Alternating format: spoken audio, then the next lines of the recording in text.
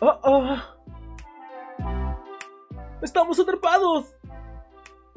¡Sálvate, pequeñín!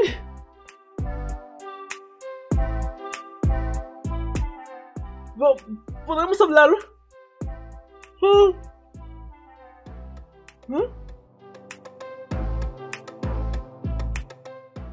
Ah.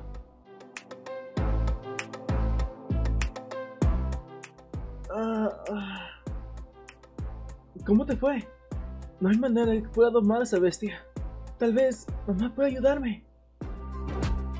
¿Lo provocaste de alguna manera? Tal vez el Grun te persiguió porque la pequeña bestia era su hijo. Nah, el pequeñín también parecía estar huyendo del Grun. El Grun incluso le dio prioridad sobre mí, como si estuviera cazando una pobre cosa. Bueno, es una bestia de presa sin mente después de todo. En realidad, no creo que el Grun sea una bestia de presa. El Grun se transforma en el peor miedo de la gente, ¿verdad? En el mundo animal, imitas un recurso alimenticio para atraer a la presa.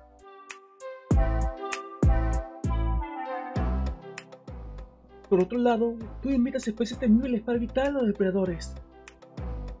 Este último método casi nunca es utilizado por las bestias de presa. Milan, creo que el Grun es la presa. Entonces, ¿el Grun inflige miedo para protegerse? Pero, ¿de quién?